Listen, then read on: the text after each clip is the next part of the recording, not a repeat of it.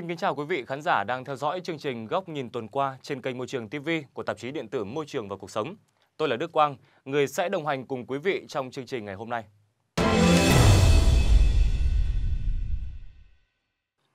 Thưa quý vị, chúng ta lại một lần nữa đang sống trong trạng thái bình thường mới, dù dịch COVID-19 vẫn diễn biến phức tạp tại một số nước trên thế giới. Tại Việt Nam, tính đến nay đã có hơn 54.000 người được tiêm vaccine COVID-19. Cùng với những nỗ lực tiêm vaccine ngừa virus SARS-CoV-2, câu chuyện hộ chiếu vaccine cũng được nhắc đến nhiều hơn khi mà những tháng đầu năm 2021, một khách nhập cảnh vào Việt Nam bắt đầu trình ra cuốn hộ chiếu đặc biệt, hộ chiếu vaccine. Tuy nhiên, việc cấp hộ chiếu vaccine có dễ dàng như vậy hay không? Hiện tại, nhiều nước và một số hãng hàng không yêu cầu hành khách đi máy bay nhập cảnh phải có chứng nhận không nhiễm SARS-CoV-2 nhưng quy định mỗi nơi mỗi khác và không có quy chuẩn nào mang tính hệ thống yêu cầu hành khách hay đối tượng nhập cảnh phải là người đã được tiêm vaccine. Ý tưởng về hộ chiếu vaccine xuất phát từ thực tế đó, hướng đến mục tiêu thiết lập được một chuẩn dữ liệu hiện đại, kỹ thuật số, an toàn, trong đó có thông tin về tiêm chủng cùng những kết quả xét nghiệm SARS-CoV-2 đã thực hiện. Trung Quốc hôm ngày 8 tháng 3 đã chính thức cấp giấy chứng nhận y tế quốc tế phục vụ cho hoạt động di chuyển quốc tế đối với công dân nước này, một dạng hộ chiếu vaccine – Liên minh châu Âu cũng đang phát triển thẻ xanh kỹ thuật số. Thẻ xanh này sẽ tạo điều kiện thuận lợi, dễ dàng hơn cho các công dân EU muốn di chuyển xuyên biên giới, một khi họ thuộc đối tượng đã được tiêm ngừa vaccine, theo Chủ tịch Ủy ban châu Âu Ursula von der Leyen. Dạng hộ chiếu điện tử này sẽ chứa đựng một số thông tin chi tiết, cho biết người được cấp đã tiêm vaccine, kết quả xét nghiệm COVID-19 đối với những người chưa được tiêm ngừa, cũng như quá trình phục hồi so với số đã từng nhiễm SARS-CoV-2. Thẻ này sẽ giúp công dân EU di chuyển an toàn trong khối hoặc ra nước ngoài với mục đích làm việc hay đi du lịch.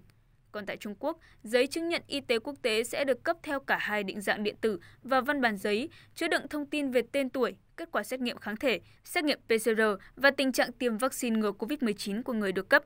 Chứng nhận bản điện tử sẽ có mã QR bảo mật giúp cơ quan chức năng nước khác xác nhận tính xác thực và đọc thông tin cá nhân. Từ bản điện tử cũng có thể dễ dàng in ra bản giấy, Tuy nhiên, hiện vẫn chưa có được sự thống nhất về vai trò cũng như cách thức sử dụng hộ chiếu vaccine. Các quỹ tổ chức chuyên về từ thiện, quyền riêng tư nêu quan ngại về bảo đảm dữ liệu cá nhân cũng như nguy cơ tiềm ẩn phân biệt. Đơn cử, rất có thể một người có chứng nhận tiêm vaccine, hộ chiếu vaccine sẽ được ưu tiên trao cơ hội việc làm, trong khi có cả một bảng danh sách chờ với nhiều ứng viên khác. Đó cũng có thể là những bất lợi, thiệt thòi mà phụ nữ mang bầu phải gánh chịu khi họ là đối tượng không thể tiêm vaccine. Một số học giả nhà nghiên cứu thậm chí còn đề cập đến yếu tố nhân quyền, một dạng apartheid vaccine. Một số học giả, nhà nghiên cứu thậm chí còn đề cập đến yếu tố nhân quyền khi một xã hội bị phân chia thành hai tầng nấc, người đã được tiêm vaccine và số chưa được tiêm vaccine. Chúng ta đều biết, du lịch và hàng không là hai lĩnh vực chịu thiệt hại nặng nề nhất bởi dịch bệnh COVID-19. Do đó, hộ chiếu vaccine được kỳ vọng sẽ trở thành đòn bẩy cho ngành hàng không vực dậy sau một thời gian dài ngấm đòn COVID-19. Kỳ vọng lớn là thế, nhưng để đưa hộ chiếu vaccine vào áp dụng thực tế ở Việt Nam không phải một sớm một chiều. Các chuyên gia cho rằng hộ chiếu vaccine đang trở thành cuộc chạy đua của nhiều quốc gia trên thế giới. Để chiếm lĩnh cơ hội mở cửa bầu trời, việc nên hay không nên triển khai và nếu triển khai cần thực hiện như thế nào nhằm vừa phát huy hết công năng của tấm hộ chiếu đặc biệt này, vừa đảm bảo an toàn phòng dịch, cần phải được nghiên cứu khẩn trương, thận trọng. Nói về nghiên cứu tấm hộ chiếu đặc biệt này, Phó giáo sư tiến sĩ Ngô Chí Long, chuyên gia kinh tế nhấn mạnh, hộ chiếu vaccine sẽ là chìa khóa mở đường bay quốc tế và là đòn bẩy giúp ngành hàng không phục hồi. Nếu muốn nắm giữ chiếc chìa khóa này, việc nghiên cứu áp dụng hộ chiếu vaccine phải triển khai ngay lập tức để sớm chốt được phương án tốt nhất. Và phải nhớ rằng đây là nghiên cứu chứ không phải là ngâm cứu. Mặc dù còn nhiều vấn đề cần giải quyết, nhưng không phủ nhận hộ chiếu vaccine là giải pháp hữu hiệu được nhiều quốc gia công nhận. Mong rằng với sự nỗ lực của các nhà khoa học, nhà sản xuất trên toàn thế giới, nhân loại sẽ sớm có vaccine ngừa COVID-19 trong thời gian ngắn nhất và chúng ta có thể hy vọng một ngày không xa, trên tay mình sẽ có cuốn hộ chiếu giá trị này để có thể vi vu đi khắp nơi.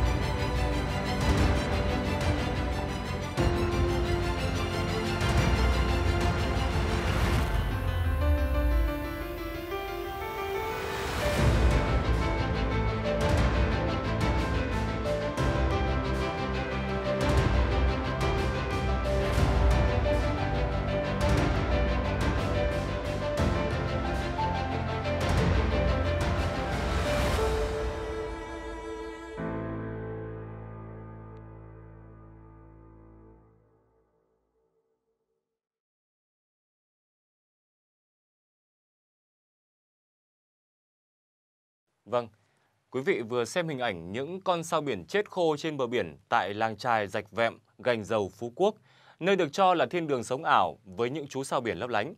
Nếu như quý vị là một trong những người thích chụp ảnh hay đi du lịch thì không thể không biết đến trend chụp ảnh cùng sao biển khi mà đến với Phú Quốc. Và nếu tìm từ khóa rạch vẹm trên mạng xã hội, bạn sẽ thấy hàng trăm bức ảnh chụp sao biển.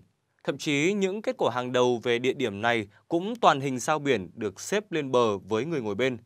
Theo trang Earth Body, sao biển chỉ có thể thở dưới nước. Hầu hết chúng chỉ có thể nín thở dưới 30 giây. 5 phút không có nước chẳng khác án tử cho chúng. Và đến 99% người vác sao biển lên bờ để chụp ảnh thì không thể dưới 30 giây được. Trong hoạt hình The SpongeBob Movie, Sponsor Out of Water, nhân vật sao biển Patrick đã cùng các bạn mình lên bờ để tìm lại công thức làm bánh hamburger bị đánh cắp. Và chắc chắn Patrick là con sao biển duy nhất trên đời sống được trên cạn được lâu đến vậy. Và đó cũng chỉ là trên phim hoạt hình, chứ còn đồng loại của Patrick cụ thể là những con sao biển ở thiên đường sao biển rạch vẹm Phú Quốc thì không thể. Sao biển thở bằng chân ống và những nốt nhỏ li ti khắp thân mình, các bộ phận này được trang bị lớp mô rất mỏng cho phép trao đổi khí oxy và carbon dioxide. Nói cách khác, mũi hoặc mang của sao biển nằm khắp nơi trên cơ thể.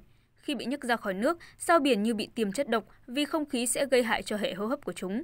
Không thể hô hấp khiến sao biển không thải được khí carbon dioxide ra ngoài, dẫn đến ngộ độc khí và chết ngay lập tức. Vậy nên việc vớt sao biển lên bờ để chụp ảnh không khác gì tuyên án tử với chúng. Và chắc hẳn với rất nhiều sao biển ở Phú Quốc, mùa du lịch thực sự là mùa của sợ hãi, mùa của chết chóc. Với đặc tính riêng biệt của rạch vẹm, thủy triều lên xuống trong ngày nhiều lần, đôi khi nước biển đã rút nhưng nhiều sao biển vẫn bị mắc lại, tạo nên cảnh tượng một màu đỏ cam trải dài trên nền cát trắng. Những bạn sao biển này rồi cũng sẽ chết đi, nhưng việc được nằm chết tự nhiên khi nhìn sóng vỗ, ngắm nắng vàng, chiêm nghiệm về cuộc sống sẽ khác hoàn toàn với việc đang nằm chơi dưới nước thì bị vớt lên, vứt xuống cát, xếp thành chữ để chụp ảnh, xong chết trước sự vô tâm của những khách du lịch. Chúng ta đều biết, đó là tự nhiên rất dễ bị tổn thương trước tác động của con người. Vậy nên đừng chỉ vì sống ảo mà làm tổn thương đến tự nhiên, đừng để thiên đường sao biển trở thành nghĩa địa sao biển. Vì khi bạn sống ảo thì sao biển đang dần chết mòn, Chúng ta luôn tuyên truyền hãy yêu môi trường, bảo vệ thiên nhiên là bảo vệ cuộc sống của chúng ta. Thế nhưng với những hành động như thế này thì có lẽ khẩu hiệu tuyên truyền kia chỉ là câu nói thoáng qua, không có giá trị gì. Vâng, một lần nữa xin được nhắc lại, đừng bao giờ sử dụng sao biển như đạo cụ sống ảo khi đi biển nếu bạn không muốn trở thành kẻ hủy hoại môi trường. Đây cũng là thông tin cuối cùng có trong chương trình Góc nhìn tuần qua số lần này. Cảm ơn quý vị và các bạn đã quan tâm theo dõi. Xin kính chào và hẹn gặp lại trong chương trình lần sau. môi trường và